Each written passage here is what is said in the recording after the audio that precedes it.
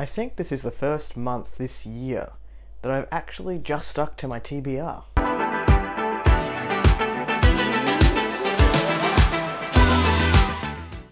Hello everyone and welcome or welcome back to A Fictional Escapist.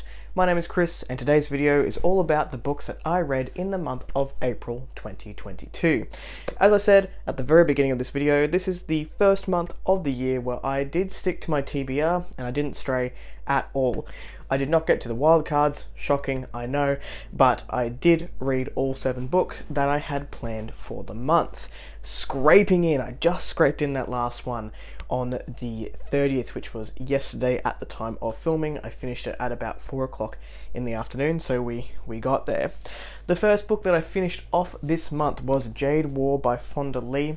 Um, I do have to say, after listening to Jade City and then I started to uh, read physically and then the experience was not as enjoyable as the audio route so maybe if you're not enjoying the physical books of the Greenbone Saga. The audio route is excellent, or at least I found that it greatly heightened my experience of the stories. Um, so I went back to audio for Jade War. This was very good. It basically takes Jade City's concept uh, of you know Jade and, and the family mafia S style fantasy that was pretty much just in Kekon and Janloon, and we're getting that idea of what's happening in the family and how it affects everyone in the family, and then just branches it out and takes it to a much bigger level where we're starting to look at different countries and how it affects different countries and, and different clans more so, and basically just takes it from here to here, in my opinion. I really enjoyed it. Um, I'd never read that there was a blurb by or an endorsement by Ann Leckie on the back, which is interesting because Ann Leckie's a sci fi author. Anyway, I digress. I am really, really enjoying the Greenbone Saga for what it is. I can definitely see why it's not for everybody, um, but I am really engrossed in the story and how much bigger it is going to get in Jade Legacy. So I'm very much looking forward to continuing the series. We're about 13 chapters in Jade Legacy at the moment, and already it's just insane. So I'm excited and sad that it's concluding, but that is the first book that I read in the month of April.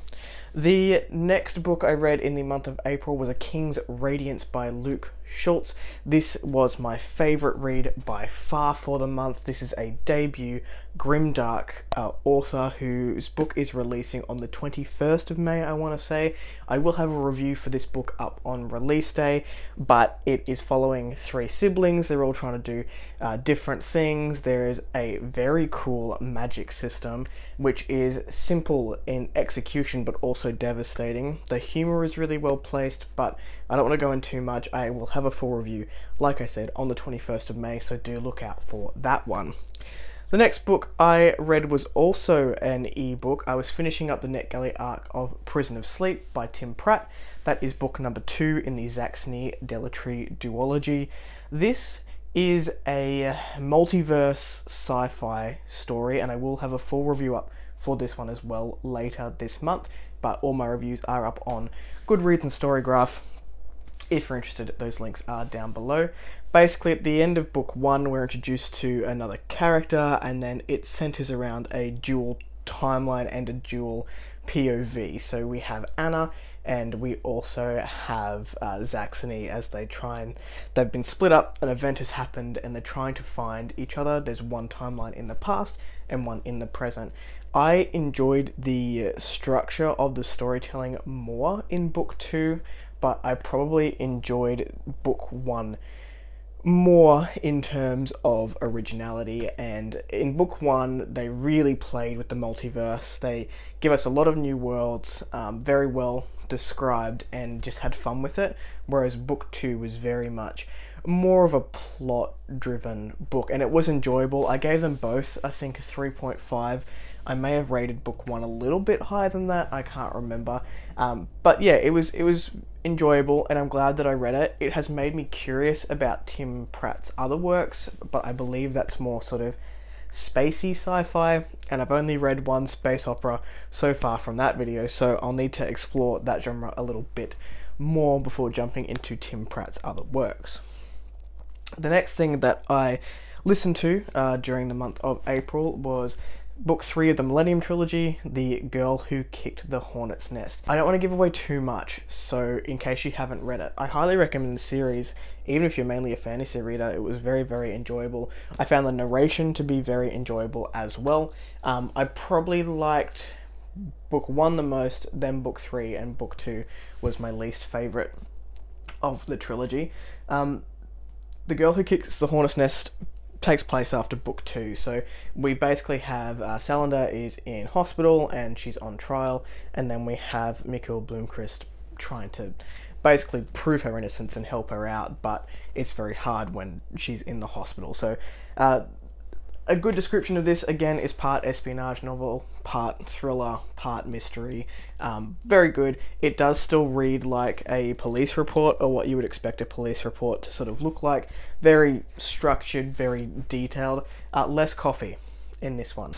I enjoyed both of these on audio. The first physical book that I read in the month of April was The Blood of the Spear by Mark Timmony. I will have a full review for this one out as well, so I won't go into too much detail. That cover is absolutely stunning, and this is a scene that happens in the book, which is very, very cool. We're basically following a, band of young people as they are running away because the two brothers have uh, a mark on their hand, an ancient mark, which people who have these marks uh, tend to end up dead. They they don't like these marks very much at all for reasons which I can't go into. Listen to the review, and so they're sort of on the run. And there's a group of young people who are discovering themselves. I really like the character development. The biggest takeaway for me from the Blood of the Spear was just how good the world building is. Um, and so a lot of people will say that there are lore dumps, and there are lore dumps as you're reading through the book, but to me, they really enhance the world. You can definitely see the author has uh, a big love for world building, which comes out here, and I'm a big world building nerd, so that really, really worked for me. I think I ended up giving this one uh, a four star, but yeah, I really enjoyed it, and I'm looking forward to the next one in the series. I had to put the groceries away mid filming, and I have a cookie. Okay, the next book I read, the second last book that I read in the month of April, is Shadow's Edge by Brent Weeks. This is book two in the Night Angel trilogy. Now, in the first book, The Way of the Shadows, it basically got split in the halfway mark, and the first half was sort of a coming of age story of this character, Kylar Stern, as he becomes an apprentice wet boy, which is a an assassin but better, and he's learning the way of killing essentially, but doing it in intelligent ways. And then the second half of the book is a political coup. It basically follows this big event with a lot of political players, and Kylar is set to kill certain people, and then it sort of ends there. With this one, we see Kylar trying to escape that life, and it is sort of split, not half half, but I would say the first 30% of the book is Kylar trying to start a new life with uh, the woman that he loves and his adopted child, Uly, basically, and then he keeps getting the call to kill because it's in his nature, it's what he's been trained to do, and he's promised the woman that he loves that he will try and not, um, but he keeps getting called back to it. So that's the first 30%, and then something happens where he's basically called back to do this job. An old friend has thought to be alive when previously they were thought to be dead. So Kylar goes, Well, I have to go back because this person was, you know, my best friend. So he goes back and he, he tries to save this friend in amongst all this, without giving too much away, in case you haven't read it, is this political unrest is growing, and we have the God King, who's like the big bad, who's trying to take over the world. He's just very much showing his own power, showing that he can create these creatures of war, um, and the the stakes are just heightened very, very much.